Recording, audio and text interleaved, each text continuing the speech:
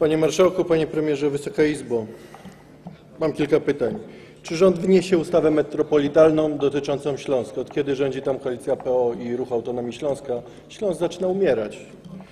Kiedy autostrada A1 od Częstochowy do Pyżowic, o której opowiadał e, poprzedni minister infrastruktury przed wyborami w Częstochowie?